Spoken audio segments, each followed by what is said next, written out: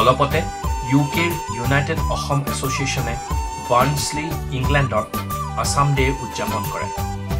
এই উপলক্ষে দুদিনীয়া কাৰ্যসূচীৰে এক বাৰে বৰণীয়া খেল ধেমালি তথা সাংস্কৃতিক সন্ধিয়াৰ আয়োজন কৰা হয়।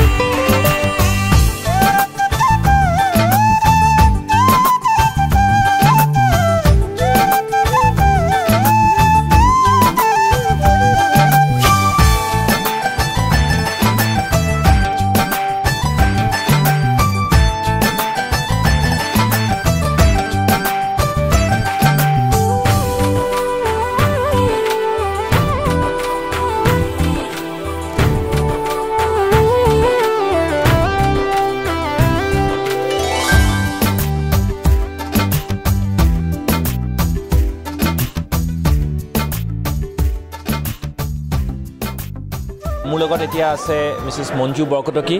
ইয়াতে এখন সুন্দৰ অসমৰ ওপৰত প্ৰদৰ্শনী আয়োজন কৰিছে। মঞ্জু মামীৰ পৰা বুজ ল'ম এই প্ৰদৰ্শনীৰ তাৎপৰ্য কি?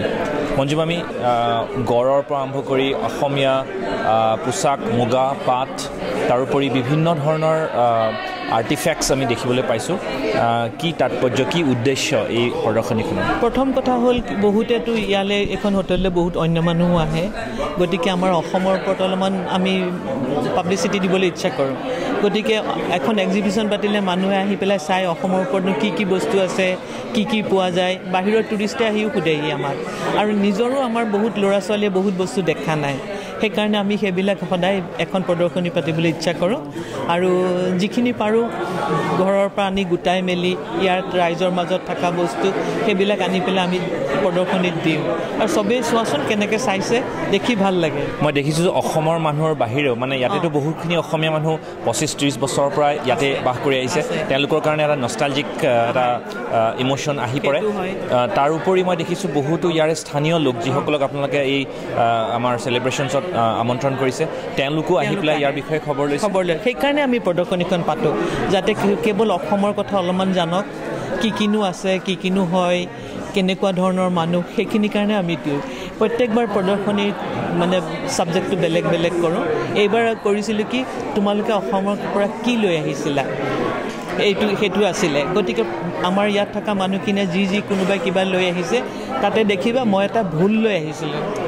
হা সেইটো ইমান ডাঙৰ ভুল তুমি চাবা। সেইটো লৈ আহিছিলোঁ। সেইটোতো আমি আগতে সময়ত গা ধুবলৈ ইউজ কৰোঁ। আৰু ইয়াতে তেনেকুৱা ধৰণৰ ভুল মই দেখা নাই কোনো নাই দেখা। আৰু মানে ইয়াত ছুপাৰ মাৰ্কেটত এতিয়া লোফা এটা ওলায় ভুলৰ জাল। কিন্তু তেনেকুৱা যে ভুল কোনেও দেখা নাই। তেনেকুৱা এটা কথা। আৰু মই কিছুমান পাট মুগা এৰী এইবিলাকৰ কুকুনবিলাক লৈ আহিছোঁ আৰু হেৰি লৈ আহিছোঁ। চাবা সেইবিলাকতো মানুহে বহুত মানুহে দেখা নাই। সেইবিলাক কুকুনৰ পৰা কেনেকৈ হয়? গতিকে যোৱাবাৰৰ আগৰবাৰ আমি সেইটো এক্সিবিশ্যন কৰিছিলোঁ। চাহ আৰু হেৰি চিল্ক। তাৰ ওপৰত কৰিছিলোঁ এক্সিবিশ্যন এইবাৰ অলপ বেলেগ থিমটো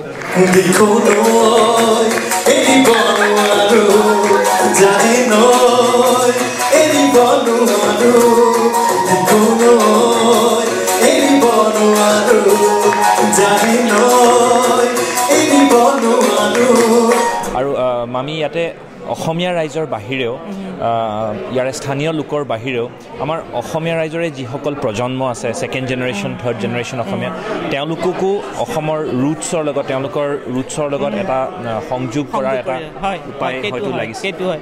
কেৱল আমিয়েই মানে পুৰণা মানুহখিনিয়ে কেৱল দেশৰ কথা নাভাবোঁ যাতে নতুনখিনিয়েও গৈ পেলাই দেশৰ কথা জানক ভাবক কাৰণ তেওঁলোকে ইয়াত কাম কৰে বা স্কুল কলেজত যাওঁতে সময় নাপায় সদায় যাবলৈ।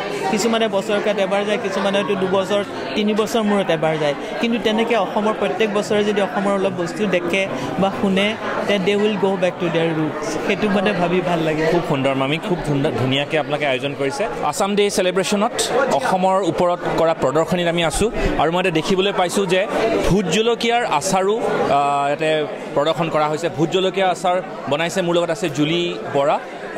জুলি বাইদেউ ভোট জলকীয়াৰ আচাৰ ভোট জলকীয়া ক'ত পালে আপুনি ইয়াতে? জলকীয়াটো মই চাউথ চিলত কিনিছোঁ এছিয়ান দোকানত। মই ঠিক নাজানো ক'ৰ পৰা আহিছে কিন্তু খুব সম্ভৱ কিজানি অসমৰ পৰা আহিছে নেকি। কিন্তু আমাৰ তাতোতো it's well known that vote জলকীয়াটো is the hottest chilli in the world Assamese মানুহেতো ভোট জলকীয়াৰ বিষয়ে জানে। আপুনি অনা অসমীয়া বা ইয়াৰে স্থানীয় লোকৰ পৰাও ভোট জলকীয়াৰ বিষয়ে তেওঁলোকে বিচাৰি আহিছে নেকি বা সুধিছে নেকি এইটো কি? আহিছে মই এনেই আৰু আমাৰ ফ্ৰেণ্ডকো মই লোকেলি আমাৰ ফ্ৰেণ্ডকো মানে খুৱাইছোঁ। খুব ভাল পাইছে টেষ্টটো ভোট জলকীয়া খেতিয়কসকলৰ বাবে এটা ভাল খবৰ। ইংলেণ্ডলৈও এক্সপৰ্ট হোৱা আৰম্ভ হৈছে। ক'ৰ পৰা আহিছে আমি এতিয়াও গম নাপাওঁ কিন্তু ডেফিনেটলি সঁচাকৈ এটা বাট আছে। এনেকুৱা ধৰণৰ প্ৰডাক্টছ এনেকুৱা ধৰণৰ উৎপন্ন অসমৰ উৎপন্ন যিটো আমি বাহিৰলৈ পঠিয়াব পাৰোঁ। থেংক ইউ জুলি বাইদেউ। আমাৰ লগত কথা পতাব ৰাইজক দেখুৱাব খুজিছোঁ ভোট জলকীয়াৰ এই বটলটো। মোৰ লগত আছে অসম এছ'চিয়েশ্যনৰ সাধাৰণ সম্পাদক ডক্টৰ নৃপেন বৰকটকী। যোৱা পাঁচ বছৰ ধৰি তেখেতে সাধাৰণ সম্পাদকৰ এই দায়িত্ব চলাই আহিছে। তেখেতৰ লগত দুআষাৰ কথা পাতিম। নীলুমামা দুহেজাৰ চনৰ পৰাই এই আছাম ডে যি উদযাপন আপোনালোকে কৰি আহিছে আহ, তেৰ বছৰ হয়তো চৈধ্য বছৰত ভৰি দিছে এইবাৰ। ইয়াৰ উদ্দেশ্য কি? আছাম ডে আপোনালোকে যে ইমান ধুনীয়াকৈ উদযাপন কৰিছে ইয়াৰ উদ্দেশ্যটো কি বাৰু? এইখন দেশত আমাৰ আছাম এছ'চিয়েশ্যন আমি বহুত দিনৰ পৰাই কৰি আছোঁ। ঊনৈছশ আঠসত্তৰ চনতে আৰম্ভ হৈছিল যেতিয়া অসমত ডিষ্টাৰ্বেঞ্চবিলাক হৈছিল তেতিয়াই আমি প্ৰথম অসম আৰম্ভ কৰিছিলোঁ অসম এছ'চিয়েশ্যনৰ কিন্তু ঊনৈছশ নিৰান্নব্বৈ চনত আমি ভাবিলোঁ যে আমি এটা এনেকৈ গেট টুগেডাৰ কৰিব লাগে এখন জেগাত সকলো আহি পেলাই লগ পাব লাগে একেলগে থাকিব লাগে। কাৰণ আমাৰ ইয়াত অসমীয়া কমিউনিটিটো বৰ সৰু বৰ তিনিশ চাৰিশ ঘৰ মানুহ তাৰে হয়তো বেছিভাগ ষ্টুডেণ্টেই আমি ভাবিছিলোঁ যে সেই সময়ত আমি দুদিনীয়া এটা প্ৰগ্ৰেম কৰিম যিটোত আমি এখন হোটেল ঠিক কৰিম য'ত আমি একেলগে থাকিম একেলগে গান গান বাজনা কৰোঁ ফূৰ্তি কৰোঁ হুলস্থুল কৰোঁ সেইবিলাক আমি একেলগে কৰোঁ।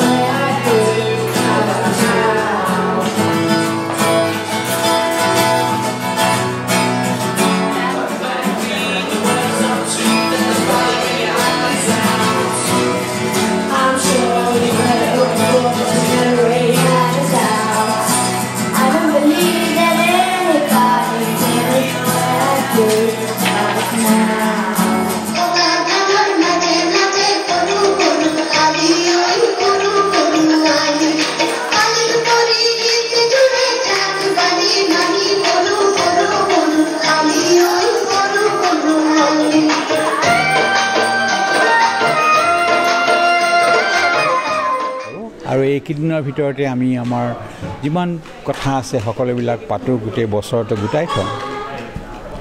আটাইতকৈ ডাঙৰ ডাঙৰ কথা হ'ল কি আমাৰ আমাৰ কালচাৰেল ফাংচনত সকলোৱে সুবিধা পায়। নিজে কোনোবাই গান গায় কোনোবাই নাচে কোনোবাই আবৃত্তি কৰে।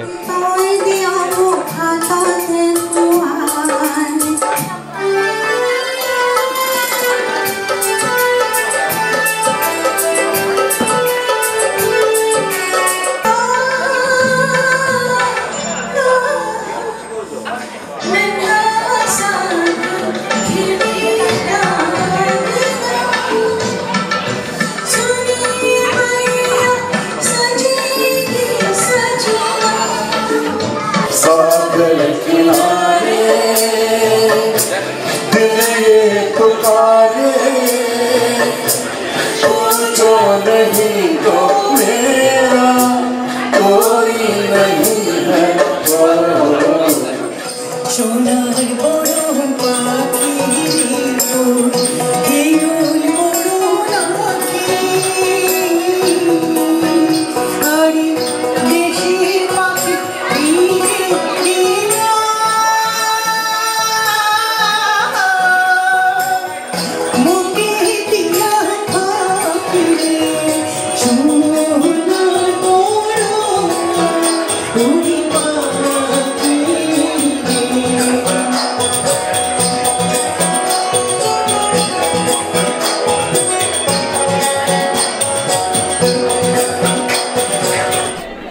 আছে এতিয়া গীতিকা দত্ত শইকীয়া।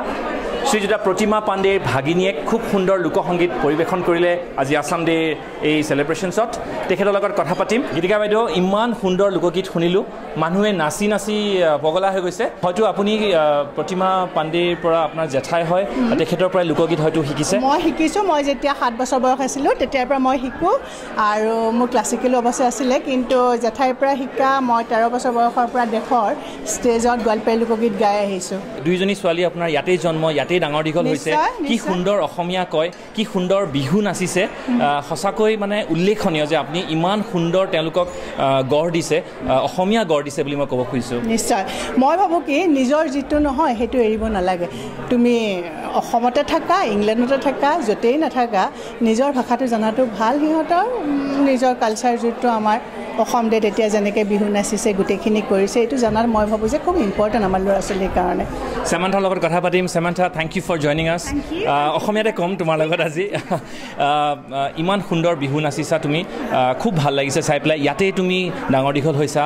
তুমি ডক্টৰ হয় চেমান্থা ডক্টৰ হয় আৰু ইয়াতেই পঢ়া শুনা কৰিছে। সুন্দৰ অসমীয়া কয়। কেনেকুৱা লাগিছে অসম দেত আহি পেলাই? বঢ়িয়া লাগিছে। আৰু এতিয়া গানবিলাক শুনিলোঁ সেইবিলাকো ভাল লাগিছে। আৰু মই আৰু চিনুবাই নাচিছোঁ বঢ়িয়া লাগিছে। বিৰাট জমাইছে। আহ, কেতিয়াৰ পৰা বিহু শিকাইছে মায়ে four years old really really young so' আমি হেৰি অসমত গ'লে আইতাকে আইতাই শিকায় তাৰপিছত মায়ে শিকায় so' that's how I learn so' I really enjoy it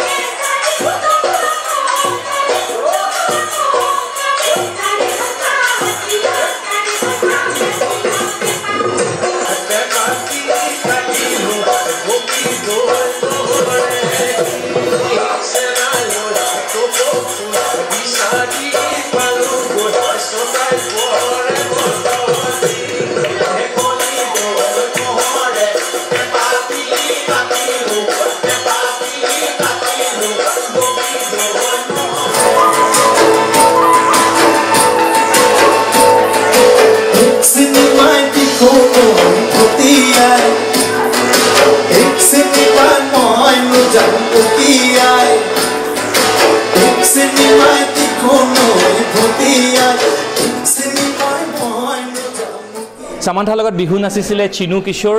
এই আছাম ডে চেলিব্ৰেশ্যন কমিটিৰ তেখেত সাংস্কৃতিক সম্পাদক তেখেতৰ লগত দুআষাৰ পাতিম। চিনু বহুত ধন্যবাদ।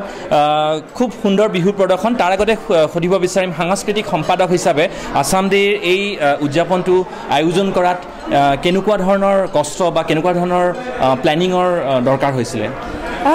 অসম অ- অসম ডেৰ আহ, প্ৰ- প্ৰথম দিনাখন যিটো কালচাৰেল শ্ব' হয় এভৰিবডি এক্সপেক্ট মানে হোম গ্ৰ'ন যিবিলাক আমাৰ টেলেণ্টেড মানে আৰ্টিষ্ট আছে অসমীয়া তেওঁলোকক স্পেচিয়েলি লৈ অনা হয় বা পাৰফৰ্ম কৰে। ইউ হেভ আপোনালোকে দেখিলে যে গীতিকা শইকীয়াই হাও মানে কিমান সুন্দৰকৈ লোকগীত আমাক শুনালে আৰু আমি আহ, বহুত ডিফিকাল্ট হয়। সকলোৱে খুব বিজি ইয়াত। কিন্তু তথাপিও মই মানে খুব ধন্যবাদ জনাইছোঁ তেওঁলোকক। তেওঁলোকে প্ৰথম দিনাখন আজিৰ অসম ডেৰ কালচাৰেল প্ৰগ্ৰামটো বিৰাট ছাকচেছফুল কৰি তুলিলে। আই থিংক আমাৰ অসমীয়া দৰ্শকসকলেও খুব এনজয় কৰিলে। আৰু হোপফুলি তেওঁলোকে সদায় মনত ৰাখিব। চ' এই- এইখিনিতে দৰ্শকসকলক জনাব বিচাৰিছোঁ যে বাৰ্ণছলি মিডলেণ্ডছত হোৱা এই অসম ডেৰ যি উদযাপন সেয়া সেয়া এটেণ্ড কৰিবৰ কাৰণে গোটেই ইংলেণ্ড তথা গোটেই ইউ কেৰ পৰা অসমীয়া ৰাইজ আহিছে। আহ, এশ দুশ কিলোমিটাৰ নহয় ছশ সাতশ কিলোমিটাৰ অতিক্ৰম কৰি তেওঁলোকে দুৰাতি ইয়াতে হোটেলত থাকি পেলাই অসম ডে বা অসম অসমক চেলিব্ৰেট কৰিবৰ কাৰণে আজি এই অনুষ্ঠানত অংশগ্ৰহণ কৰিবলৈ আহিছে। আহ, এনেকৈ অসমীয়া মানুহক ইমান দূৰৰ পৰা মাতি অনাটো ইমান সহজ নহয়। চিনুৱে ক'লে যে সকলো প্ৰফেচনেল নিজৰ নিজৰ নিজৰ কামত ব্যস্ত হৈ থাকে। গতিকে এটা উল্লেখনীয় বিষয় যে এশতকৈও অধিক মানুহক আজি এই উদযাপন সমাৰোহত তেওঁলোকক নিমন্ত্ৰণ বা আমন্ত্ৰণ বা আকৰ্ষণ কৰিব পৰা যিটো কমিটিয়ে যিটো দায়িত্ব লৈছে সেইটো সঁচাকৈ লেখত ল'বলগীয়া। অসমৰ পৰা দূৰত থাকিও কিন্তু অসমক দূৰত ৰাখিব নোৱাৰে ইংলেণ্ডত থকা ইউ কেত থকা অসমীয়া ৰাইজে।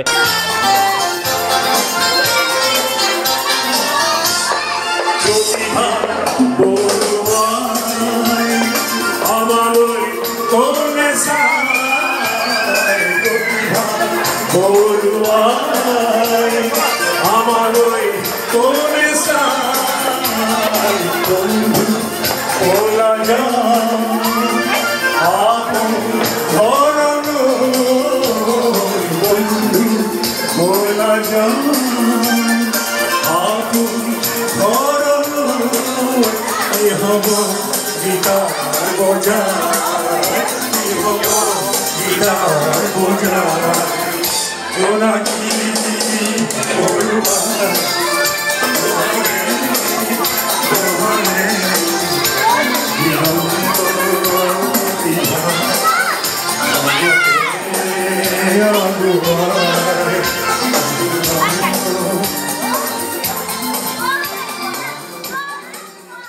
ৰিণু মামা বিৰাট সুন্দৰ আই থিংক এনেকুৱা ধৰণৰ এটা উদযাপনে সকলো অসমীয়া ৰাইজ যিখিনি ইংলেণ্ডত আছে তেওঁলোকক একগোট একত্ৰিত কৰি ৰখাত হয়তো খুবেই বেছি অৰিহণা যোগাব।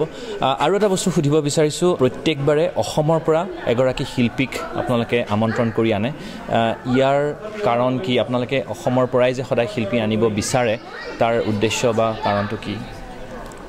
সেইটো বৰ দৰকাৰী কথা সুধিছা তুমি। কিয় আমি অসমৰ পৰা এজন শিল্পী আনো? সাধাৰণতে আমি ভাবোঁ আমি এই অসমীয়া সমাজে যদি অসমৰ এজন শিল্পীক অনুপ্ৰেৰণা নিদিওঁ কোনে কৰিব? আমাৰ সেইটো কৰ্তব্য বুলি ভাবোঁ। আৰু এজন যদি উঠি অহা শিল্পী আমি মতাৰ কাৰণে যদি তেওঁলোকে পাব্লিচিটি পায় বা তাৰ কাৰণে তেওঁৰ ভাল হয় সেয়া আমাৰে গৌৰৱ। প্ৰত্যেক বছৰে আমি প্ৰথমতেই ভূপেন দাক আনিছিলোঁ ঊনৈছশ নিৰান্নব্বৈ চনত। তাৰ পৰা এজন এজনকৈ ভূপেন দাৰ ভায়েক সমৰ হাজৰিকা আহিছিলে পাপন মহন্ত আহিছিলে অভিশ্ৰুতি বেজবৰুৱা আহিছিলে এইবছৰ সীমান্ত শেখৰ আহিছে। তেনেকৈ বহুত ভাল ভাল বহু গুণী শিল্পী অসমৰ পৰা আহিছে আৰু তেওঁলোকক তেওঁলোকে দেখিছে তেওঁলোকে শুনিছে তেওঁলোকে ইয়াত অকলটো আহি পেলাই ফাংচন কৰিতো গুচি নাযায় এখন দেশ চাই আমি ফুৰাওঁ আমাৰ বন্ধুবিলাকে লৈ যায়। তেওঁলোকৰ এটা বেলেগ এক্সপিৰিয়েঞ্চ হয়। খুব খুব সুন্দৰ এক চেষ্টা প্ৰচেষ্টা। হয়তো অসমীয়া অসমৰ শিল্পীসকলে খুব উৎসাহিত হ'ব আৰু হয়তো আগলৈও আমি এনেধৰণে ভাল ধুনীয়া গীত পৰিৱেশন কৰা শিল্পীসকলক ইউ কেলৈ অনাৰ সুবিধাটো আমি দি থাকিব পাৰিম। আমাৰ লগত কথা পতাৰ বাবে বহুত ধন্যবাদ লেনু মামা। আহ, সেয়া ডক্টৰ নিপেন বৰকটকী সাধাৰণ সম্পাদক অসম এছ'চিয়েশ্যন ইউ কে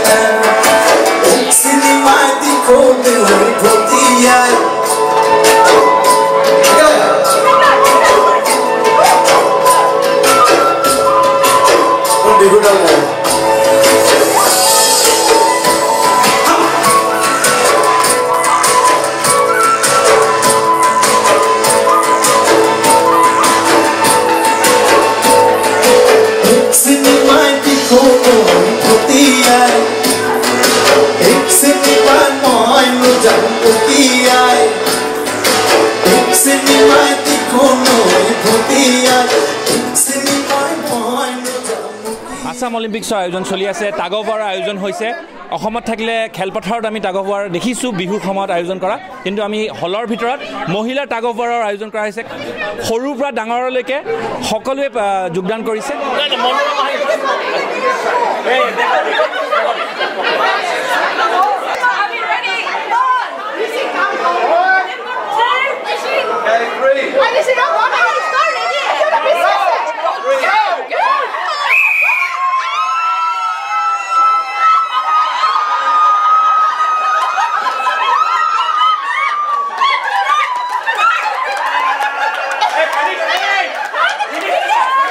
লগত আছে ক্ৰিষ্টিন মহন্ত অসমৰ বোৱাৰী Uh, Christine, thank you for talking to us. Uh, you've been the daughter-in-law of Assam for the last 27 years.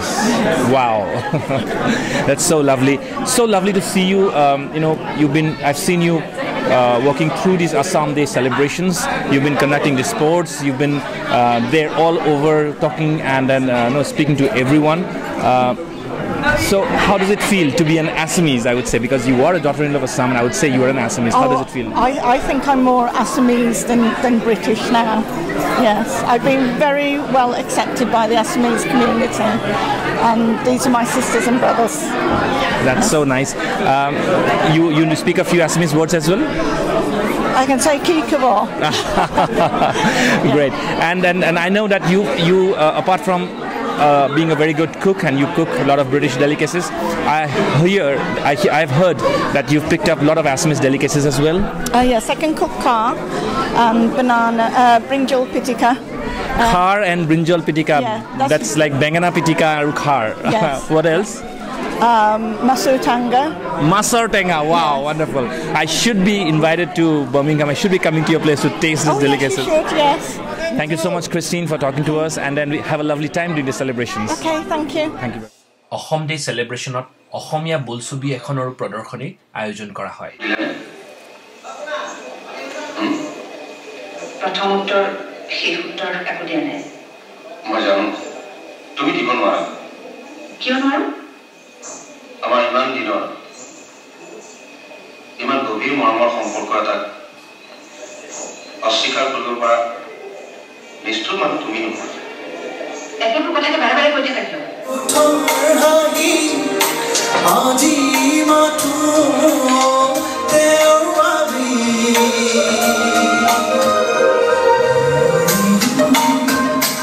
একেবাৰে ধৰি দিয়া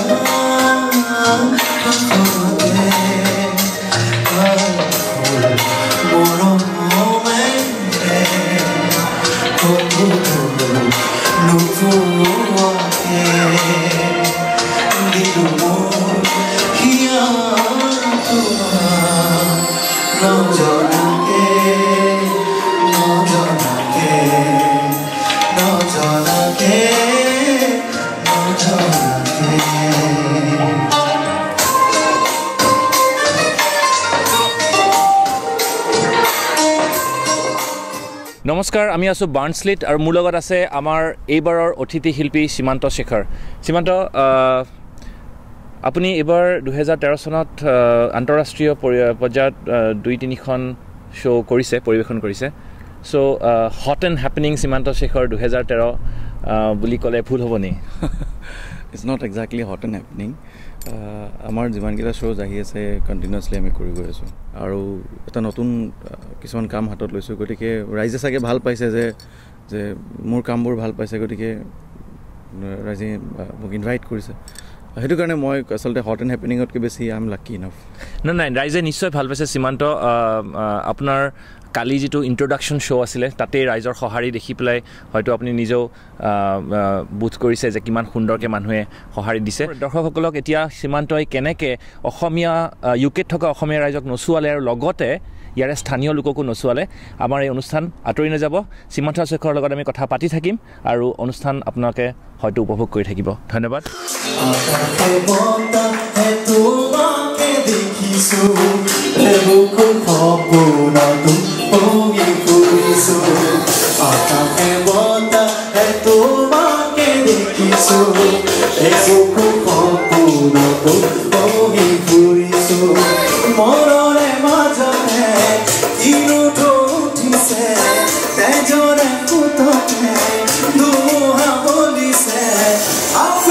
Something, something তুমি বাৰু জানানে আকাশে বতাহে সীমান্ত অলপতে পাপন আহি গৈছিলে লণ্ডনত কোক ষ্টুডিঅ'ত এম টি ভিৰ গোটেইকেইটি গীত তেখেতে মিক্স কৰিবলৈ আহিছিলে। মোৰ সৌভাগ্য আছিল তেখেতক লগ পালোঁ। লগতে আপুনি গোৱা গীত এটিৰ সুন্দৰ ৰেণ্ডিশ্যন শুনিবলৈ পালোঁ। কোক ষ্টুডিঅ'ত এম টি ভিত আপুনি গাব পৰাটো এটা সফলতা বুলি মই ভাবিম।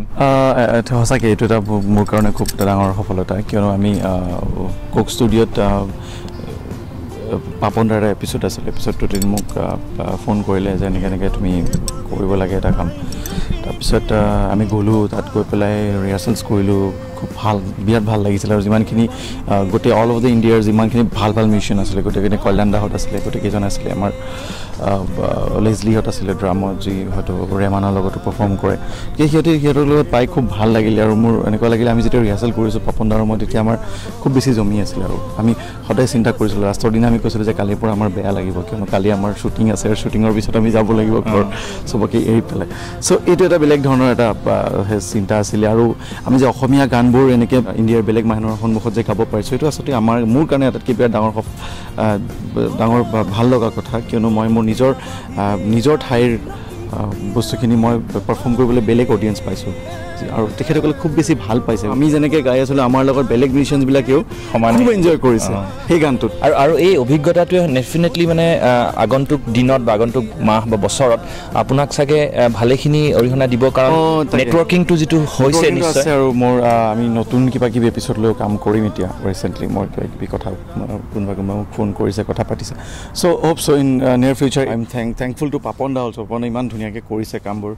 আৰু থেংকফুল টু মা অসমৰ সমূহ শ্ৰোতালৈ মোৰ মোৰ বিশেষকৈ মোৰ শ্ৰোতাখিনিৰ লগত মোৰ খুব বেছি এডজাষ্টমেণ্ট আছে খুব বেছি ৰিলেশ্যন এটা আছে। গতিকে মই বিচাৰিম অসমৰ ৰাইজে চাওক ভাল পাওক আমাক আমাক আশীৰ্বাদ কৰক যাতে আমি আৰু কাম কৰি যাব পাৰোঁ। আপোনালোকৰ ভাল লগা কাম কিছুমান।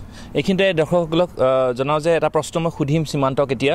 যিটো বস্তু মই সীমান্তৰ লগত একেদিন থাকোঁতে গম পাইছোঁ যে বলিউডত বা মুম্বাই ফিল্ম ইণ্ডাষ্ট্ৰীত অসমীয়া মিউজিচিয়ানছ বা ছিংগাৰ্ছ ইমানখিনি আছে ভাল কাম কৰি আহিছে। আহ, কিন্তু শুনিবলৈ পোৱা মতে অসমৰ পৰা মিউজিচিয়ান বা ছিংগাৰ বুলি ক'লে চবেই মানে ঘপকৈ অ' আপুনি অসমৰ আপ আছামছেহে এনেকৈ কয় মানে এটা ৰেচপেক্ট যিটো দিয়ে অসমৰ মিউজিচিয়ান আৰু ছিংগাৰ ইয়াৰ বিষয়ে সীমান্ত হয় এইটো কথা কিয় নহয়? আমাৰ অসমৰ যিটো কালচাৰ আমাৰ ফ'ক ফ'কটো বহুত বেছিকৈ আমাৰ ছিংগাৰবোৰে বা মিউজিচিয়ানবিলাকে সৰুৰ পৰা শুনি আহে কাৰণে বেছিকৈ জানে ফ'কটো। আৰু সেইটো কাৰণে হয়তো বাহিৰৰ যিখিনি আৰ্টিষ্ট আছে সেইখিনি চাগে সিহঁতক ভাল দৃষ্টিৰে চায় মই নিজে দেখিছোঁ ইনফেক্ট আৰু আমাৰ অগ্ৰজবিলাকে ইমান ভাল কাম কৰিছে গতিকে তেখেতসকলৰ পৰা তেখেতসকলে কৰা কামখিনি উপহাৰটো আমি পাইছোঁ। কাৰণ আমাকো তেনেকৈ ভাল দৃষ্টিৰে চায় গতিকে খুব ভাল লাগে। সুন্দৰ সুন্দৰ বাট এটা মুকলি হৈছে অসমৰ বিষয়েনো। কাৰণ বহু ক্ষেত্ৰত দেখা গৈছিলে যে অসমৰ বিষয়ে এটা ভুল ধাৰণা মানুহৰ মাজত থাকে বিভিন্ন কাৰণৰ বাবে। হয়তো সংগীতৰ যোগেদি সেই ধাৰণাটো সলনি কৰিবলৈ আমি চেষ্টা কৰিব পাৰোঁ। চেষ্টা কৰিছোঁ বা সক্ষম হ'বলৈ মানে আমি এটা আশা কৰিব পাৰোঁ সেইটো। হয় সেইটো হয় বহুত ধন্যবাদ সীমান্ত। আমি আপোনালোকক সীমান্তৰ পাৰফৰ্মেঞ্চ পৰিৱেশন দেখুৱাম। কেনেকৈ সীমান্তই গোটেই ইউ কেবাসী অসমীয়া ৰাইজক নচুৱাইছে। চাই থাকিব এই অনুষ্ঠান। আঁতৰি নাযাব। This, you.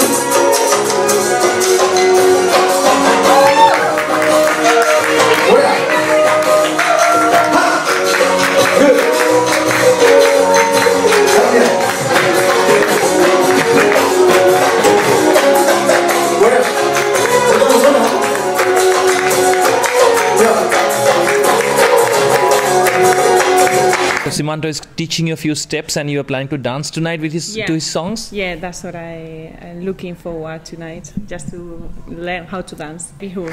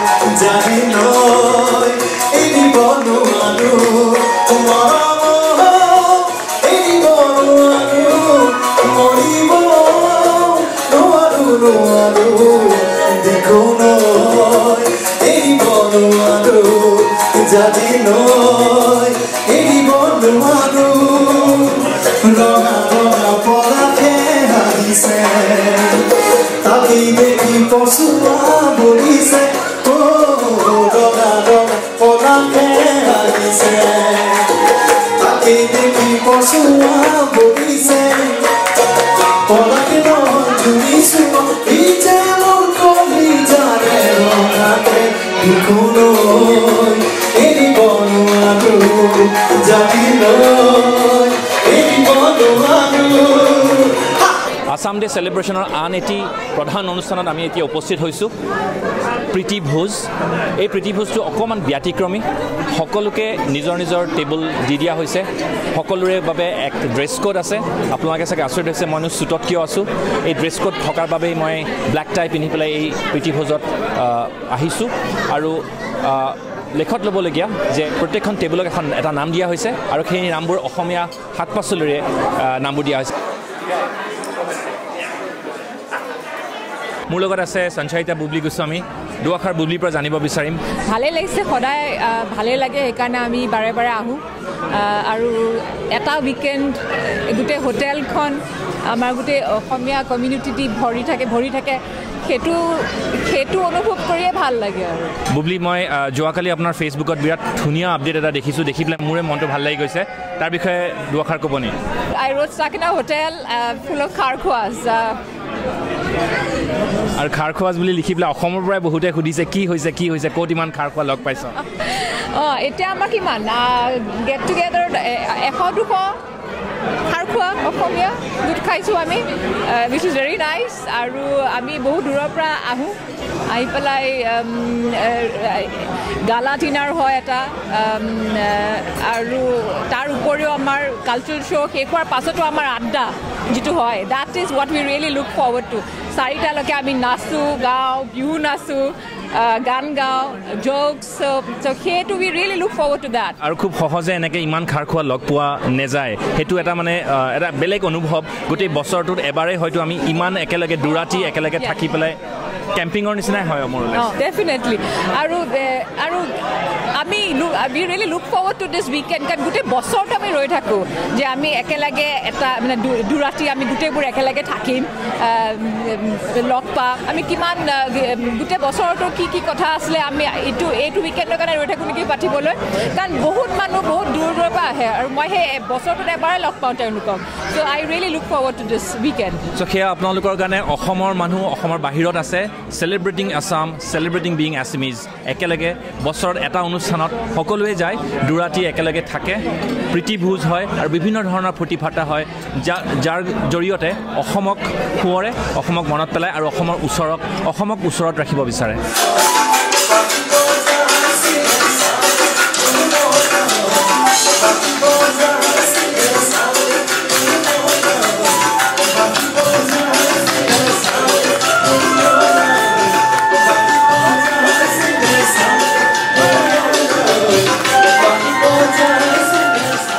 মোৰ লগত আছে গৌৰৱ গোস্বামী। দৰ্শকসকলক জনাব বিচাৰিছোঁ যে গৌৰৱ আচলতে এক প্ৰখ্যাত কুইজাৰ। বহুত বছৰ আগতে ডেৰেক' ব্ৰেণ্ড প্ৰখ্যাত কুইজ মাষ্টাৰ ডেৰেক' ব্ৰেণ্ড অনুষ্ঠানতো গৌৰৱে ফাইনেলছ ফাইনেলছলৈ যাবলৈ সক্ষম হৈছিলে। অসম ডে চেলিব্ৰেশ্যনত এক কুইজ কম্পিটিশ্যন আপুনি বহুত বছৰৰ পৰাই পাতি আহিছে গৌৰৱ। ইয়াৰ বিষয়ে দুআষাৰ কওক এই কুইজ কম্পিটিশ্যনটো কিয় ইমান মানে ইম্পৰ্টেণ্ট ইয়াতে পাৰ্টিচিপেণ্টছ বা যিসকলে অংশগ্ৰহণ কৰে তেওঁলোকৰ বাবে? ঋতুৰাজ ধন্যবাদ যে আপুনি ইমানখিনি মোক ক'লে যে মই সঁচাকৈ প্ৰতিক্ৰিয়া কৰিছিলোঁ।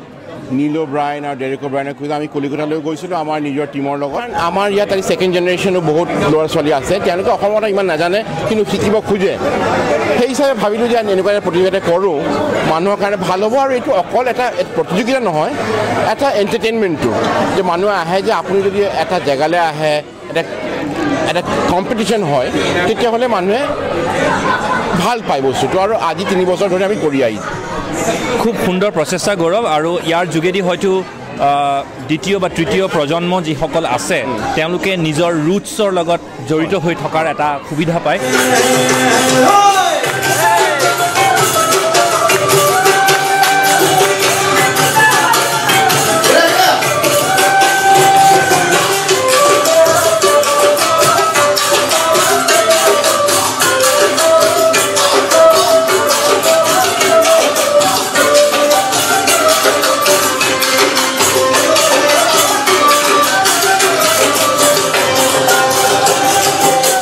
জানিব বিচাৰিম। কেনেকুৱা লাগিছে? এনেকুৱা ধৰণৰ দিনৰ এটাত আহি পেলাই সীমান্ত? খুব ভাল লাগিছে আৰু আটাইতকৈ বেছি ভাল লাগিছে কি গোটেইখিনি মানুহ ইমান ধুনীয়াকৈ এছ'চিয়েটেড হৈ আছে। এই প্ৰীতি ভোজটো আচলতে সঁচাকৈ প্ৰীতি ভোজ আৰু ভাল লাগিছে ডক্টৰ লেজলি ফক্স তেখেতক লগ পাই। তেখেত আমাৰ অসমত অসম ভেলী স্কুলৰ প্ৰিন্সিপাল আছিলে এসময়ত প্ৰীতিক সুধিব বিচাৰিম। প্ৰীতি ইয়াতে আহি পেলাই খোৱা বোৱাখিনি কেনেকুৱা পাইছে? আপুনিতো মডেলিং কৰে চিৰিয়েলত এক্টিং কৰে। কিবা চিন্তা কৰিছে নেকি যে এনেকুৱা খোৱা হ'লে মোৰ কাৰণে অসুবিধা হ'ব বা সোৱাদ পাইছে নাই পোৱা? ফাৰ্ষ্টত একো টেষ্ট বুজি পোৱা নাছিলোঁ কাৰণ আমাৰ টেষ্ট বাডৰ লগত নিমিলে বাট এতিয়া আই এম ট্ৰাইং টু এতিয়া বহুত ভাল লাগিছে।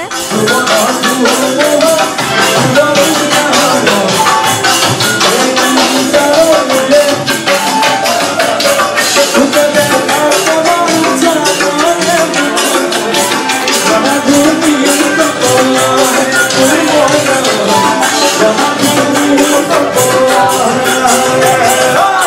লগত এতিয়া আছে mister Leslie Fox Mrs A V Fox আজিৰ এই সন্ধিয়াৰ তেওঁলোক মুখ্য অতিথি mister Leslie Fox has been the ex-principal of Assam Valley School, Tejpur, since in from the year 1999 to 2003. And Ms. Fox, you've been in Tejpur as well.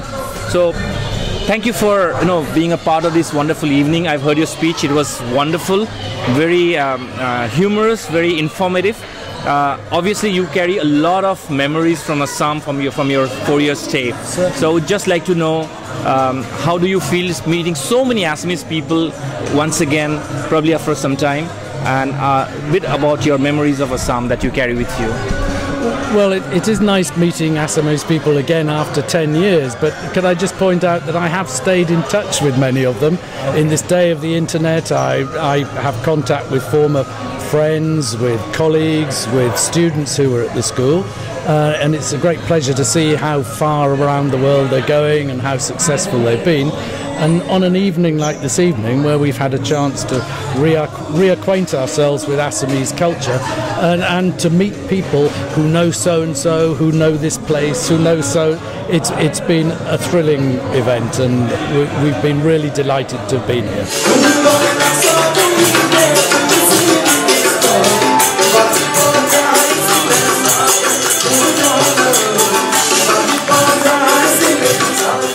From your speech, I could uh, understand that you carry so many good memories about your stay in, in Assam for four years.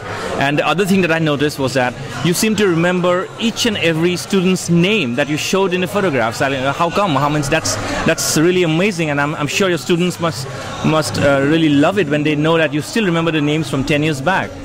Well, I expect them to, to know my name, so it's only right and proper I know their names.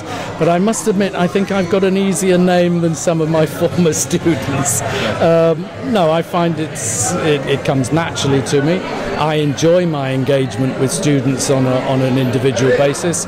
Um, in Assam, I would eat with them, and, and you get to learn what your school is about and you get to learn about individuals. All the Assam Valley students and ex-students who must be watching this show, this is Mr. Les- Leslie Fox, your ex-principal, who seems to remember all his ex-students' names, who seems to remember wonderful memories about Assam, and and uh, is delighted to be here uh, celebrating Assam Day, celebrating Assam, celebrating being Assamese uh, amidst us. I would like to have uh, thank you, Mr. Fox, and a, and a quick question to Mrs. Evie Fox, who have been with Mr. Leslie Fox uh, all throughout those four years. Uh, what memories do you carry of Assam?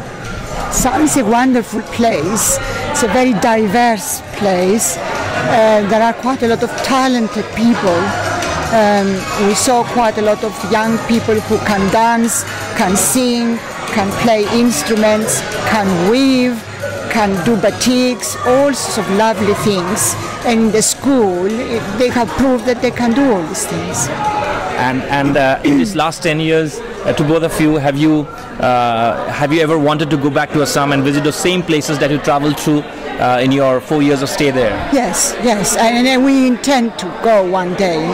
Um, it's it, the, the place is very, very nice. Uh, the nature around is very nice. The people are very charming, very hospitable, very delightful people, as all these people that we saw today. Right, uh, so it's wonderful to hear uh, that you have such lovely memories of Assam. Uh, really appreciate your uh, time with us today. It's been d- absolutely delightful, and thank you very much for talking to us. I'm sure our viewers would enjoy whatever you have to say about Assam and the Assamese people. Thank you so much, Mr. No, Fox. it's been. Thank you so much, Mr. Fox.